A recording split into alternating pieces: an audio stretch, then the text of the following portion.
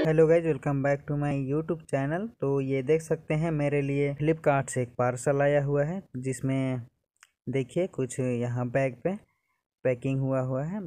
तो अभी इसे अनबॉक्सिंग करेंगे और देखेंगे क्या है इसके बॉक्स कंटेंट तो चलिए आज की इस वीडियो को शुरू करते हैं। तो यहाँ पर कुछ इसकी डिटेल्स दी गई है। तो फटाफट से अभी इसे करते हैं अनबॉक्सिंग और देखते हैं देखिए अभी प्लास्टिक में पैकअप ये है ईजल ट्राईपोर्ड है जो कि पेंटिंग में उपयोग होता है और ये कैरी बैग जो कि बहुत अच्छा है कहीं भी कैरी कर सकते हैं। अभी इसे खोलते हैं और देखते हैं।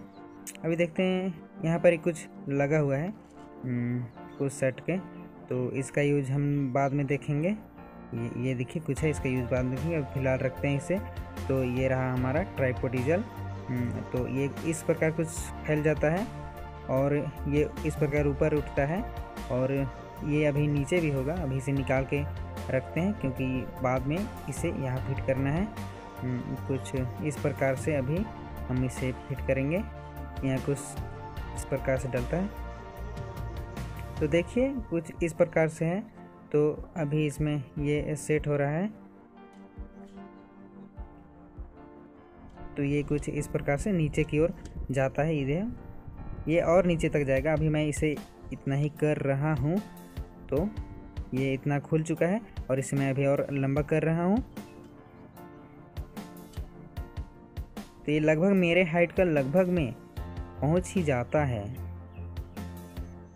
देखिए, अब इसे कुछ इस प्रकार से फैलाते हैं और इसे कहीं भी इस प्रकार से रख के हम पेंटिंग के लिए इसे यूज़ कर सकते हैं। ये बहुत अच्छा है।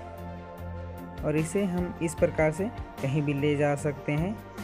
और इस प्रकार से, जैसे कि देख रहे हो बैकग्राउंड इस प्रकार से है तो इसे नेचर पेंटिंग के लिए काफ़ी उपयोग होने वाली है मेरे लिए तो खासतौर पर।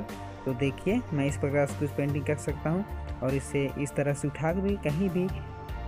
इजीली लकड़ी की अपेक्षा ये वाला मुझे बहुत अच्छा लगा। देखिए, इस प्रकार से हम सेट कर सकते हैं। और ये कुछ इस प्रकार से लुक आती है। तो अभी फ़िलहाल इसे अब खोलते हैं, अब दिखाते हैं कि कैरी करने में ये कैसा लगता है। तो अभी इसे खोलते हैं, ये निकल के फिर वहीं डलता है। फिर अभी इसे छोटा करेंगे, इसका जो लेग है उसे।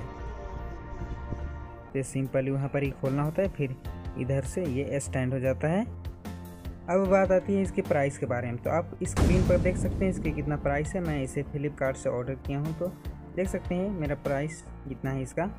हम्म, और तो बिल्ड क्वालिटी क्वालिटी की बात करें तो ये पूरा सिल्वर का है और कुछ फाइबर वगैरह है और मुझे काफ़ी बहुत अच्छा लगा इसे यूज़ करने में। आगे मैं यूज़ करूँगा और वीडियो में दिखाऊँगा।